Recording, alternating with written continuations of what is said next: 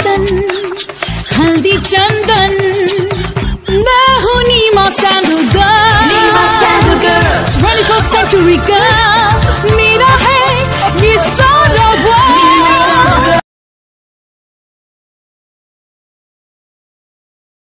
Ji thank you very much general साहब to begin with थोड़ा सा इसके बैकग्राउंड पे जो साइनो इंडिया जो कॉन्फ्लिक्ट है इसकी रीजंस क्या है और स्ट्रेटेजिक इंपेरेटिव्स दोनों साइड्स की क्या है इसमें? जी थैंक यू जी। इसमें सबसे पहली बात ये कि थोड़ा सा इसका परसे मंजर जिसको परस्पेक्टिव बोलते हैं ना, या जो जो इसका कॉन्टेक्स्ट होता है, उसको समझना ज़रूरी है। कॉन्टेक्स्ट भी दो किस्म का। एक तो है ग्लोबल कॉन्टेक्स्ट और एक थोड़ा सा रीजनल कॉन्टेक्स्ट की हम बात करेंगे। पहले मैं थोड़ा सा रीजनल कॉन्टेक्स्ट को पीछे लेके जाऊँगा। बिफोर पार्टीशन 1947 से पहले जब ब्रिटिश एम्पायर यहाँ पे थी, उस वक्त ब्रिटिश एम्पायर की बाउंड्री थी चाइना के साथ। और वो बाउंड्री बड़ी लूज सी बाउंड्री थी। उसकी डिमार्केशन नहीं हुई थी और उसके ऊपर उनके एग्रीमेंट्स आपस में चलते रहते थे और उनका आपस में चल रहा था। लेकिन पार्टीशन के बाद थोड़ी सी सिचुएशन डिफरेंट हो गई। लेकिन मैं भी उसको थोड़ा सा ग्लोबल परस्पेक्टिव से इसको रिलेट करूँगा। आपको याद होगा कि यूएसएसआर जब ख़त्म हो गया है, उसके बाद से सर्द जंग ख़त्म हो गई।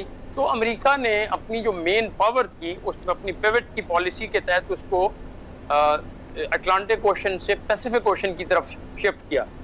एक और बड़ी चीज़ उसने ये की कि उसने जो रीजनल लोग थे यहाँ पे रीजनल पावर थी मसलन उन्होंने क्वाड का एक कॉन्सेप्ट लेके आए जिसमें ऑस्ट्रेलिया भी शामिल है जापान है इंडिया को कर दिया। और इंडिया को शामिल किया। और साथ ही साथ उन्होंने एशिया पैसिफिक पहले बोला जाता था लफ्ज ज़्यादा एशिया पैसिफिक उन्होंने इंडो पैसिफिक कर दिया।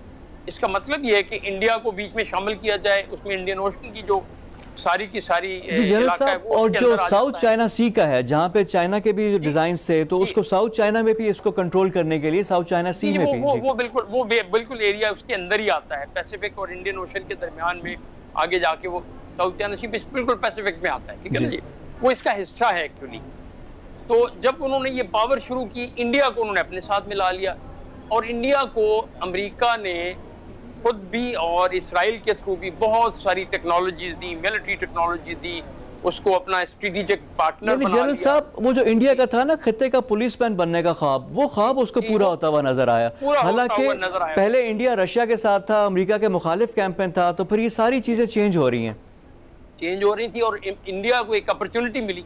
उसने समझा कि शायद मैं चाइना के इसी गार्ड में चाइना को एज अ थ्रेट पेश करके या अमेरिका की जो मजबूरी है चाइना को कंटेन कंटेन करना। लेकिन सर देखिए चाइना की भी तो काउंटर स्ट्रेटजी होनी चाहिए ना और पाकिस्तान चाइना के कैंप में भी और हम भी बहुत बुरी तरह फंसे हुए हैं कि हम ये अमेरिका के साथ हैं चाइना के साथ हैं। अभी तक हमारी पॉलिसी क्लियर नहीं है। इस इस पे हम बाद में आते हैं इस पे हम बाद में आते हैं थोड़ा सा। मैं सिर्फ़ ये बात ये कर रहा हूँ पहले हम थोड़ा सा कॉन्टेक्स्ट क्लियर कर लें। ग्लोबल कॉन्टेक्स्ट में इंडिया जो है वो अमेरिका का हलीफ बन गया। और इंडिया ने अमेरिका के probably at behest of American या अपने तौर पे उन्होंने समझा कि एक अपॉर्चुनिटी है। एक तो हम थोड़ा सा चाइना के साथ थोड़ा कुछ करते हैं। आपको याद है दो तीन एरियाज़ हैं जो कि वहाँ पे बोन ऑफ़ कंटेंशन रहे हैं। एक तो एरिया है अरुणाचल प्रदेश का, जो कि बिल्कुल ईस्ट में है, जिसको कि चाइना कहता है कि वो पूरा का पूरा सूबा हमारा है। वो स्टेट इंडिया इंडिया के पास है, लेकिन चाइना कहता है कि वो हमारी है। एक तो वो है कंटेंशन और वहाँ पे भी 62 में लड़ाई हुई थी। फिर आप थोड़ा सा आगे आए भूटान और सिक्किम का एरिया जो है। जहाँ पे डोकलाम 2017 में जो डोकलाम का डोकलाम। का हुआ था। और ये सारा इलाके में लड़ाई पहले 62 में यहाँ पे भी हुई। फिर तीसरा जो एरिया है जहाँ पे लड़ाई हुई है अभी रिसेंट भी जिसमें एस्केलेशन वो लद्दाख का एरिया है। लद्दाख का एरिया वो है जिसमें कि अक्साई चेन का एरिया जो कि ऊपर चाइना के पास है उससे आप नीचे आते हैं और यहाँ पे पाकिस्तान तो की भी इन्वॉल्वमेंट एक तरह से हो जाती है कि हम भी पाकिस्तान की भी जी हम भी बिल्कुल साथ हैं। आप देख ले एक जगह है ले। जी। जो कि ले में इंडिया का बहुत बड़ा एक अड्डा है उनका फौजी अड्डा है फजाई और जनरल साहब जब हमने कारगिल किया था तो ले कारगिल रोड वो अंडर थ्रेट आ गई थी। जी जी वो बिल्कुल आपको याद है बिल्कुल सही बात है आपकी बात दुरुस्त है कि उस वक्त ले कारगिल रोड को हमने थ्रेटन किया था। अपने फायर से डायरेक्ट फायर से भी हमने थ्रेटन किया था उस वक्त। तो मैं जो बात कर रहा था कि इंडिया ने क्या किया? इंडिया ने देखा कि अमेरिका के उसके ऊपर शय लेते हुए उन्हें अपनी पावर को वहाँ पे कंसोलिडेट करना शुरू किया बढ़ाना शुरू किया और उन्होंने ले से लेकर श्योक और आगे एक जगह आती है दौलत बेग ओल्डी। जी ओल्डी जहाँ पे रोड आता है दौलत बेग ओल्डी रोड जी रोड आता है। वो रोड पहले नहीं थी उन्होंने ये रोड पिछले दो एक साल में वो रोड कंप्लीट कर ली।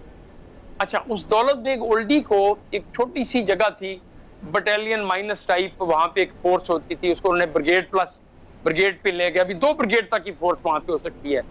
फिर ने वहाँ पे लैंडिंग स्टेप्स भी बनाना शुरू कर दी। चाइना ने जब ये देखा कि यार ये इंडिया तो एक कोई और गेम खेल रहा है। अमेरिका के कहने के ऊपर या बगैर कहने के ऊपर वो एक और, और गेम और जनरल साहब यहाँ से जो सीपेक वाला हमारा रूट है वो भी जिस तरह ले कारगिल रोड का उसका भी काउंटर था ना एक ये।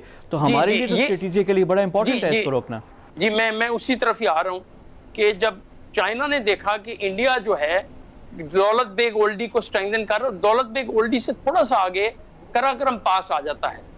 और कराक्रम के पास से इनकी जो मेन रोड जो कनेक्ट करती है तिब्बत को और जिनजियांग प्रोविंस को, को। वो वहीं से गुजर सिंकियांग या सिंकियांग या जिनजियांग या जो भी उसका नाम आजकल बोलते हैं सिंकियांग पुराना नाम है उसका तो उसके पास से गुजरती है। और चाइना ने ये फील किया कि प्रॉबेबली इंडिया अपने हलीफों के साथ मिलके सी पैक को थ्रेटन कर रहा है। वहाँ से भी थ्रेटन कर रहा है और अल्टीमेटली उनका ऑब्जेक्टिव ये भी हो सकता है कि इस सारे एरिया को पीछे उसका बेस को कंसोलिडेट करके पाकिस्तान के गिलगित बल्तिस्तान के एरिया को भी थ्रेटन किया जाए। तो ये उनका बड़ा एक ऑब्जेक्टिव था इंडिया का और चाइना ने उसको फोर्स किया। चाइनीज़ आगे आ गए। वो वहाँ पे गलवान वैली तक आ गए। और अच्छा जनरल साहब ये जो स्क्रमिश इसमें इस्तेमाल नहीं हुआ। सिर्फ़ पत्थरों का लाठियों का इस्तेमाल हुआ कुछ लोग सोल्जर्स नीचे भी गिरे इंडिया के। तो ये जी, क्यों जी, दोनों साइड से है? जंग नहीं चाहती। जंग का खतरा इसी से मेरा सवाल है कितना ज़्यादा है इस इलाके में? इंडिया चाइना का पाकिस्तान इंडिया का? ये सारा ज़रा कॉन्टेक्ट ज़रा समझाएँ हमें एक्सप्लेन करें। जी मैं सिर्फ़ एक मुआदा हुआ था हुआ था इंडिया और चाइना का। मेरे ख्याल में नाइन्टी में हुआ था वो मुआदा जिसमें उन्होंने कहा था हम एक दूसरे के खिलाफ फायर आर्म्स नहीं यूज़ करेंगे। कुछ उसकी उन्होंने एस बना ली। तो वो उसके जेन में था।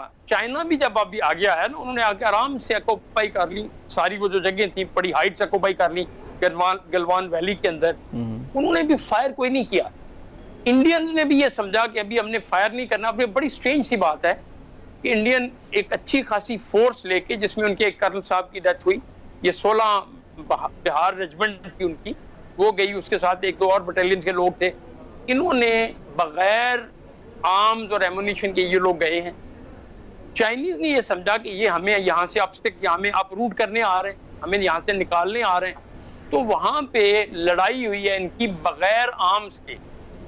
यानी डंडे लाठी सोटे जिसको बोलते हैं उनसे पत्थर उनसे लड़ाई हुई है। अभी आप लेकिन एक चीज़ देख लें कि उन्होंने चाइनीज़ ने अच्छी प्रेपरेशन की हुई थी।